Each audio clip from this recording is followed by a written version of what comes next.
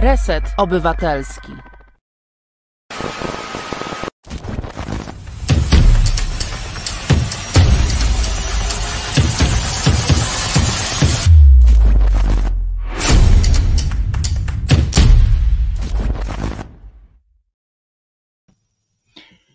Dobry wieczór, Jarosław Szczepański, codziennik codziennie, e, obywatelski dzisiaj. A w Sejmie głosowano nad odrzuceniem czterech projektów dotyczących zmiany e, prawa aborcyjnego, nazwijmy to w skrócie oczywiście, bo to są zupełnie inaczej zatytułowane te mm, projekty i dotyczą i mm, przywrócenia mm, de, depenalizacji y, pomocy mm, w aborcji dotyczą różnych spraw. Mm, Zakłada, obawiano się tego, że wszystkie projekty zostaną odrzucone, y, zostaną mm, odrzucone, to znaczy nie zostaną przyjęte do dalszego procedowania. Tymczasem w głosowaniu, z głosowania wyszło to, że e, wszystkie cała chęć odrzucenia tych projektów została odrzucona, czyli nie przyjęta, czyli inaczej mówiąc, że wszystkie cztery projekty trafiły do e, specjalnej komisji, która została powołana. Ona dzisiaj już obradowała po południu. Jej szefową jest e, Dorota Łoboda. E, I, no i zobaczymy, co, zobaczymy, co dalej. E, Pewnie, no właśnie, to też jest pytanie, co, w którym to kierunku pójdzie, to znaczy, e, kiedy mm, projekty trafią pod obrady Sejmu po- ponownie, e, które projekty, w jakiej wersji, e, kiedy, mm, kiedy trafią do Senatu, a później z Senatu do podpisu prezydenta. E, Gościem programu jest e, czcigodny profesor e, socjologii, profesor Ireneusz Krzemiński. Umawialiśmy się we wtorek, że porozmawiamy dalej o wyborach, ale te wybory, które odbyły się w niedzielę, przypomnę, że dzisiaj jest piątek, to właściwie już jak odległa historia. Odległa i zapomniana, bo one, mm, no, debata aborcyjna wczoraj i dziś y, przykryła je ho, ho, kurzem zapomnienia. Mówię o tych wyborach. Dzień dobry. jest- Dzień dobry. Dobra, Waś, do, dobry wieczór e, Tobie, dobry wieczór Państwu. No, ja, ja nie byłem taki całkiem pewny, że tak całkiem przykryła, bo e, też ta debata, która się odbywała i kontekst, jaki się ona odbywała, wcześniejszy, e, one też wiążą się jakoś z tymi wyborami, wiążą się też z no, takimi wynikami jednej z tych porządnych pracowni badania opinii publicznej, z których wynikało, że bardzo dużo e, jednak e, ludzi w Polsce jest e, niezadowolonych z działania, mm, czy też zawiedzionych, e, można powiedzieć, działaniem e, nowej władzy i twierdzi, że na przykład nie, do, niedostatecznie wiele obietnic zostało zrealizowanych albo choćby wszczętych. Prawda? I tutaj no, ten kontekst jest bardzo istotny, na przede wszystkim młodzież, która po prostu się odobywatelniła, można by tak powiedzieć, E, no ale zawsze ma swoje jakieś powody. Oczywiście to, to jest bardziej złożone, bo to nie można tego wyjaśnić jakimiś e, powodami typu ro, rozeznania własnych interesów, rozeznania własnych e, wartości. To są jednak pewne złe nawyki, które tutaj dają o sobie znać wśród tych młodych ludzi. E, I niedostatek jednak. Ale złe nawyki u młodych ludzi, czy złe nawyki e, w życiu politycznym? Ale no w- nie, właśnie mówię o młodych ludziach tylko, prawda? No jednocześnie no, mamy do czynienia z takimi, którzy tutaj mają duże ambicje, prawda? I z kolei mamy tych 18-latków, czyli dzisiaj w TVN24 to było, nie wiem, z pół godziny relacja o tym, jak tutaj mamy 18-latka czy 19-latka, który jest w Radzie jakiegoś miasta e, i tak dalej. No ja, ja nie jestem szczególnie zwolennikiem, żeby tacy strasznie młodzi byli już e, radnymi na przykład no, chociaż być może jakiś tam głos e, można będzie wtedy usłyszeć e, w imieniu ich, e, ich e, e, no, jakby to powiedzieć, e, ich pokolenia, ale Wydaje mi się, że to więcej trzeba doświadczenia mieć, prawda? I pomysł w tej sytuacji, pomysł, żeby jeszcze obniżać wiek wyborczy do 16 lat jest pomysłem moim zdaniem kompletnie niemądrym. Niemądrym i tyle. Ale wracając do tego właśnie, ale jednak ta, ten niedostatek tej, tej młodzieżowej, młodzieżowego udziału w tych wyborach jest tutaj jednak bardzo istotny i to się na pewno wiąże właśnie z tym niedostatkiem, no jakby to powiedzieć, takiej, nazwijmy to tak, oferty, e, spełnienia jakichś oczekiwań, które, które mieli e, wobec nich przez rządzącą tej pory władzy. No, ja dodam to, co kiedyś mówiłem, że zapewne wiele z, wielu z nich uważa, że to wszystko idzie za wolno, bo to młodzi są tacy niecierpliwi, już powinno iść od razu powywalać tych złych tutaj, którzy do tej pory nam krew psuli i tak byli groźni i zagrażali, a tu ciągle się z nimi celebrując jednocześnie, ale jednocześnie zarzuty, że musi być wszystko zgodnie z prawem, zgodnie z regułami, a te reguły przecież są w dużym stopniu właśnie zepsute, zabagnione, zrakowaciałe, można powiedzieć, przez rządy PiSu. No, takie paradoksy, być może tutaj też wychodzi pewien brak jednak takiej no, dostatecznie jawnej, dostatecznie bogatej komunikacji między rządzącymi a ludźmi, że im się niedostatecznie wyjaśnia, niedostatecznie im się tłumaczy, że nie wystarczy raz wystąpić, czy drugi raz wystąpić na konferencji prasowej, że powinna być instytucja przywrócona jednak rzecznika rządu, moim zdaniem, który by dwa, trzy razy w tygodniu powtarzał rozmaite rzeczy, które rząd robi, które rząd zamierza zrobić, które rząd, do których rząd właśnie zaprasza, żeby się nad nimi zastanowić, bo będzie się chciał tym zająć i tak dalej, i tak dalej. No tego nie ma, nie wiem dlaczego. Mnie się wydaje, że jednak jest to instytucja e, wraz z rozbudową takiej struktury informacyjnej e, rządu niezwykle istotna. Niezwykle istotna. No. Ja, sądzę, że, ja sądzę, że dlatego nie ma, że rząd jest delikatnie mówiąc wielobarwny, e, koalicyjny i koalicja 15 października składa się z wielu y, partii i podejrzewam, że dlatego bierze to na siebie y, premier Tusk, żeby nie dopuszczać zbyt do głosu innych.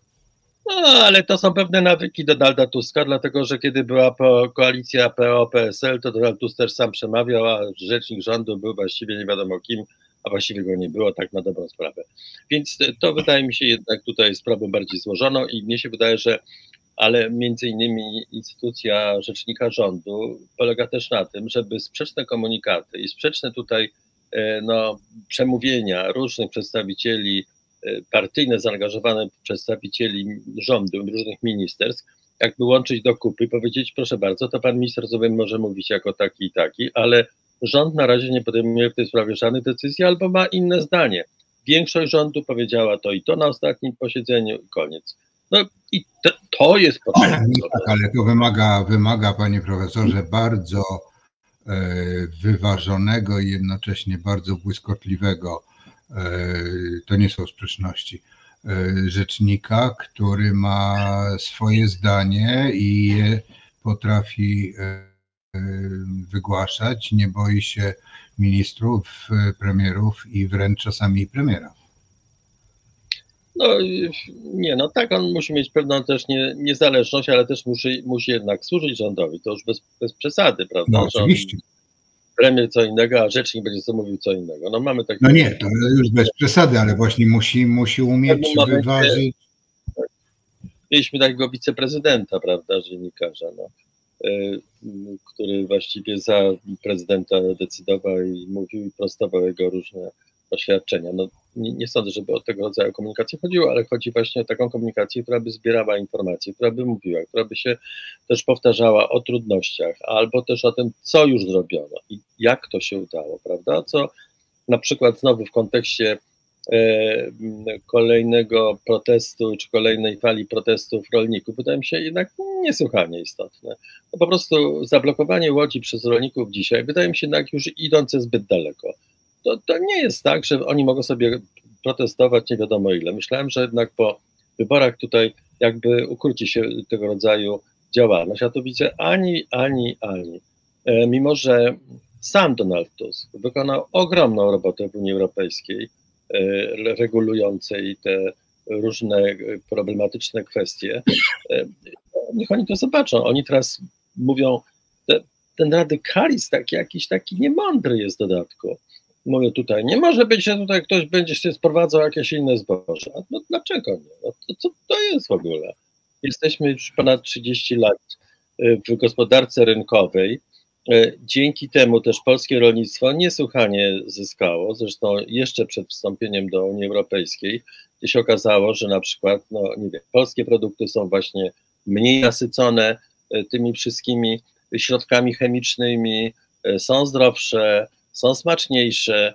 Truskawki polskie w Niemczech zawsze kosztują 2 lub 3 euro więcej niż, niż inne. No, o czym w ogóle mówimy? Więc oni uzyskiwali na tym, e, że gospodarowali rozsądnie, e, oczywiście, bo nie mieli tyle pieniędzy na te nawosy, prawda, ale właśnie dzięki temu to rolnictwo polskie zyskiwało i, i wobec tego no nie przesadzajmy, no. E, tak mi się to wydaje. Ale o ile ja sobie przypominam, mieliśmy też mówić, że jednak ten konflikt, który tu się ujawnił, to, że udało się to dzisiaj rozwiązać, to jest takie rozwiązanie połowiczne jednak, wydaje mi się. Znaczy Dlatego, ja bym że... tak daleko nie szedł, że udało się rozwiązać konflikt. Konflikt, kawałek no, konfliktu udało się rozwiązać. Mhm. No właśnie, y, bo y, wydaje mi się, że y, mamy bardzo ciekawą sytuację i ostatnie, mm, ostatnie dni, ostatnie tygodnie przyniosły też taką, no, dosyć taką ostrą e, retorykę, zwłaszcza ze strony trzeciej drogi i Polski 2050. No i jakby to powiedzieć tak, mm, e, mnie się wydaje, że to będzie trudna sprawa z zażegnaniem, czy też właściwie no, taką tym entuzjazmem pierwszych dwóch miesięcy y, tej koalicji, y, bo już w tej chwili się bardzo ujawniły pewne, moim zdaniem, takie dalekosiężne, y, dalekosiężne plany czy cele działania. Na przykład uważam, że marszałek Sejmu dąży tutaj bardzo wyraźnie, ma taki bardzo wyraźny cel, wzmocnienia oczywiście swojej partii, też się trochę dzięki tym wyborom też e, mu udało dzięki PSL-owi i jego infrastrukturze, mm, e, że tak powiem, wiejskiej i małomiasteczkowej, e, no bo jednak tutaj mimo tego rzekomego zwycięstwa PiSu, które jednak było bardzo ważnym wydarzeniem, on się jednak kruszy, prawda? I te podstawy mu się tak tutaj kruszą. No tak, ale e, trzeba też pamiętać, że na PiS głosowało 2,5 miliona ludzi mniej niż w poprzednich wyborach.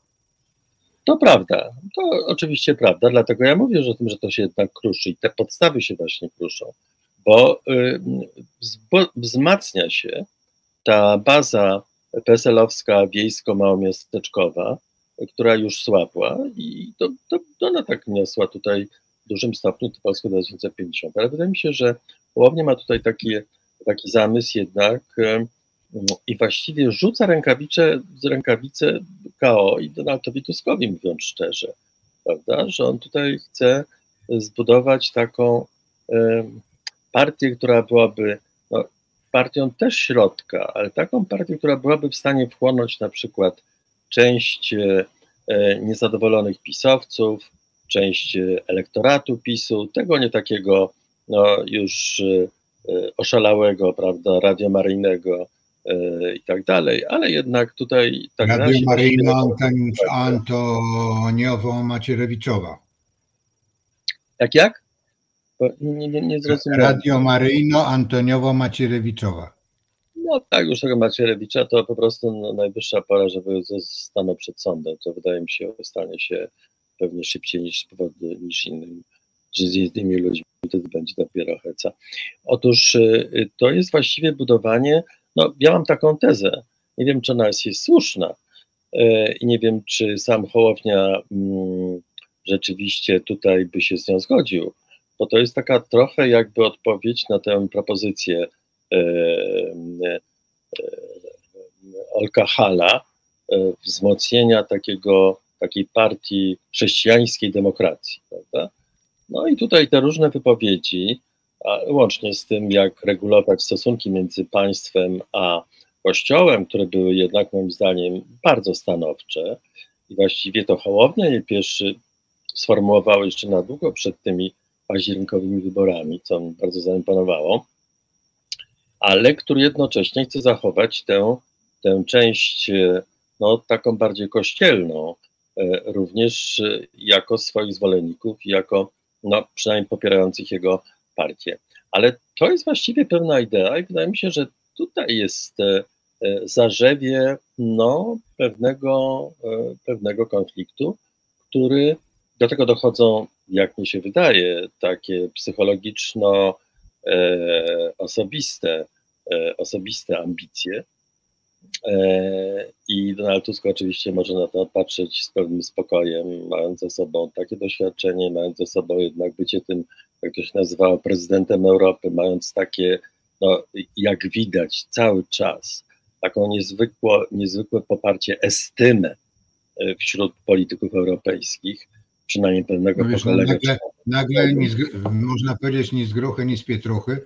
E, prezydent Duda leci do Wilna na szczyt w Wilnie, a e, premier Tusk sobie zwołuje do łazienek e, grupę sześciu czy siedmiu premierów europejskich i jeszcze do tego jednego z szefów Rady Europejskiej. No, no, no właśnie, no, to, to jest ta różnica. Przyjeżdżają tak.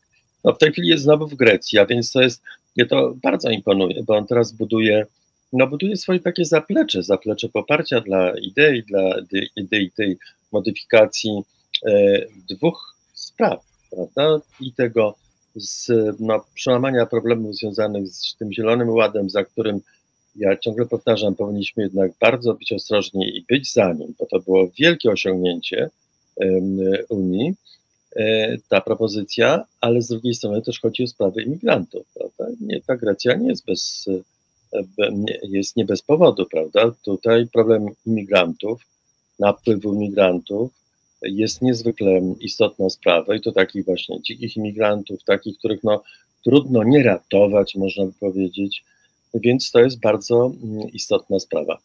Mm, no, tutaj jest pewien element niepo- mnie osobiście niepokojący i dzisiaj się nad tym zastanawiałem, kiedy znowu było doniesienie o tych e, e, kilkudziesięciu e, migrantach, którzy usiłowali dostać się do Polski na granicy białorusko-polskiej. To nawet tam wyliczyli, że to jest ponad 200 osób, które z drabinami i kamieniami atakowało granicę. No, no więc właśnie, i, i, to jest jednak pewien problem. To jednak tak, to, to, nie można kontynuować tutaj strategii, sposobu działania i filozofii PiSu, jaka tam była. To jest jednak takie, no, to jest znowu takie wyzwanie dla tej polskiej praworządności, która ma się odrodzić, prawda? To trzeba jednak jakoś bardziej stanowczo rozwiązać, e, bardzo stanowczo rozwiązać, oczywiście stworzyć jakieś e, sensowne obozy, nie wiem, instytucje inne, zresztą to traktowanie cudzoziemców w Polsce było fatalne od 90. lat. Występowałem wielokrotnie w różnych audycjach, zresztą jedna z moich dawnych jeszcze koleżanek, przyjaciółek ze studiów, bardzo tym się interesowałem, wciągnęła mnie trochę w tę e, całą tę sprawę.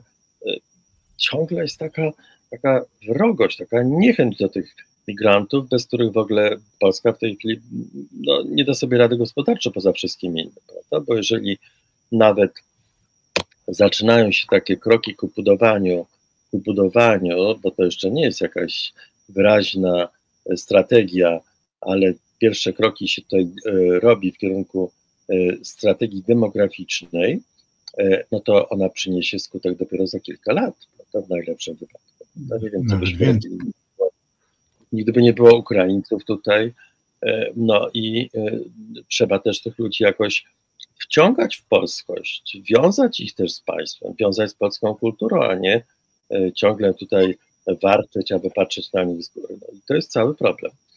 Jeszcze chciałbym wrócić do młodzieży. No tak, ale też trzeba, trzeba sprawdzać e, kierowców e, jeżdżących w różnych firmach takich nietaksówkowych, czy w ogóle mają prawo jazdy, już nie mówiąc o tym, czy nie, mają no, europejskie. Nie, no to jest oczywiste. Tutaj w ogóle no nie, no w ogóle kontra na tym jest w ogóle jakaś fantastyczna, tego ograniczę wątpliwości. Ten monitoring jest źle zorganizowany, e, przypadkowy i tak dalej. Ale chciałbym jeszcze wrócić do jednej kwestii tej młodzieży. Trochę tak skaczę z, z tego z tematu na temat, ale. Nie, cały czas jesteśmy w jednym, w jednym temacie, w temacie naszej rzeczywistości. No, to na pewno. Ale to właśnie y, zadziwiające, że y, mnie się wydawało, że w ciągu y, poprzednich lat młodzież stawała się znacznie bardziej, znacznie bardziej lewicowa. I pewne badania to pokazywały, nie wiem, jeszcze dwa lata temu czy rok temu. Mm, I w związku z tym oczekiwania lewicy były też bardzo daleko posunięte, zwłaszcza te E, no, niezwykłe, niezwykłe strajki, właściwie taki ruch młodzieżowy, który prowadził do tych strajków jeszcze w czasie pandemii e, anty, przeciwko temu prawu antyaborcyjnemu. E, no, strajk, no, strajk kobiet właściwie to by się tak nazywało. No, więc to... Lewicowo był nastawiony, prawda? I nagle się okazuje, że ta lewica otrzymuje jakieś strasznie małe poparcie. Prawda? Co prawda, no rzeczywiście to jest takie trochę odtworzenie 15 października, o czym już mówiliśmy, nie do końca, ale jednak tak. E, I to jest ciekawe, dlatego że to, co młodzież napędza, napędza również, przepraszam bardzo, to kot. Na razie, na razie to kot się napędza. Na... Kot się napędził nagle, przepraszam bardzo, przepraszam bardzo bardzo. To kot. E, otóż e, to, co bardzo ciekawe, że właściwie mamy oddolny proekologiczny i też walczący o klimat ruch młodzieżowy. I to naprawdę bardzo młodych ludzi, bardzo zaangażowanych, bardzo oddanych sprawie. Ale to są wszystko postulaty przede wszystkim lewicy w całej Europie, na całym świecie, mówiąc szczerze. E, polska lewica to też podejmuje, prawda? Ruch Zielonych jest jednak, ma duże zakorzenienie. Wiąże się jeszcze no, z takim rzeczywiście e, opozycyjnym ruchem Zielonych za czasów komuny w 80 latach, prawda, który walczył o to, żeby właśnie, no jak to opowiadałem na tym, e, prawda, w tym tyńcu, kiedy prawda, ojciec Wawrzyniec świętej pamięci pokazywał mi, jak wyglądają jabłka, bo tam ze skabiny leciały pyły. One były niejadalne, prawda? Tak, to było takie, takie zagrożenie i tak to wyglądały skutki po prostu tego Mm, klimatu, klimatu i tego braku ekologicznego zaangażowania państwa i oni wtedy bardzo tutaj no, byli zamykani do więzień, wyrzucano ich ze studiów nawet, prawda, i tak dalej, i tak dalej. E, więc ten ruch zielonych ma duże zakorzenienie. To był zawsze ruch jednak przede wszystkim lewicowy. No, mamy też e, przypadki, no, przypadek obrony Puszczy Białowieskiej przez e, cały ruch ekologiczny, głównie składany z młodych ludzi, wyjątkowo obrzydliwie potraktowany przez e, rząd PiSu. E, I teraz nagle, ale widzę w ogóle gdzieś pozostaje w ogóle no, no, bardzo, bardzo kiepskim wynikiem, mówiąc szczerze. To jest właściwie coś, co mnie bardzo jednak zadziwia. I jak to właściwie się dzieje? E, że to lewicowe myślenie młodzieży, które wydaje się być takie no do pewnego stopnia naturalne, mm, ono wcale się nie przekłada na zachowania wyborcze. No oczywiście być może, może to, że ta młodzież jest tak anty, anty czemukolwiek, że zapomina pójść do wyborów. E, no, dlatego, że jeżeli się wycofali z wyborów, no to oczywiście nie mogli też tej lewicy wybierać, prawda? No ale też ten wynik w wyborach 15 października znowu nie był jakiś taki nadzwyczajny tej e, polskiej lewicy, więc to jest bardzo ciekawe zjawisko. Jak to się właściwie dzieje? Polska tutaj bardzo się różni od e, przede wszystkim zachodu Europy. Podejmując po, polskie ruchy młodzieżowe, polscy aktywiści młodzieżowi, polskie NGOsy młodzieżowe, no, bardzo często są w tym rytmie no, takiej, takiej fajnej, e, takiej obywatelskiej lewicy, prawda, zachodniej. Mm, e, natomiast nie przekłada się to na poparcie e, partii, która przecież no, ta lewica w tej chwili, moim zdaniem, całkiem zasługuje na akceptację.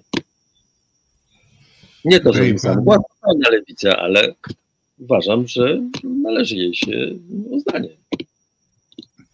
Każdym razie mnie się wydaje, że no nie tylko, że młodzież, yy, znaczy nie, znaczy może to nie tylko młodzi ludzie uważają, że w ciągu tych, yy, tego półrocza, które mm, no w poniedziałek będzie pół roku od wyborów październikowych, to powinno się już zadziać. Ale dopiero od, wyboru. od dnia powstaje właściwie realna władza, prawda? No właśnie to chciałem, to chciałem y, bardzo wyraźnie podkreślić, że pół roku minie, minie, minie, w poniedziałek od wyborów, ale władza realna jest y, wzięta dwa miesiące później. Czyli ta władza mm, premiera Tuska jest dopiero niecałe cztery miesiące. No, cztery miesiące. Jutro będą. Cztery miesiące i to jest, y, mm, jak tutaj napisał pan Wojciechowicz, że że mm, wyzwania są inne. Tak, wyzwania są zdecydowanie inne, ale te wyzwania są zauważalne w realizacji, bo jednak e, ileś spraw, które są, jest już roz, e, no, rozkręconych, spraw i no może jeszcze nie karnych, bo to za wcześnie, ale e, prowadzonych spraw, łącznie z tym miliardem 600 milionami, które Orlen gdzieś zgubił w Szwajcarii, to, no to, to są sprawy, które wypływają, może dla niektórych były znane wcześniej, niektórym były znane wcześniej, ale one teraz wypływają dopiero.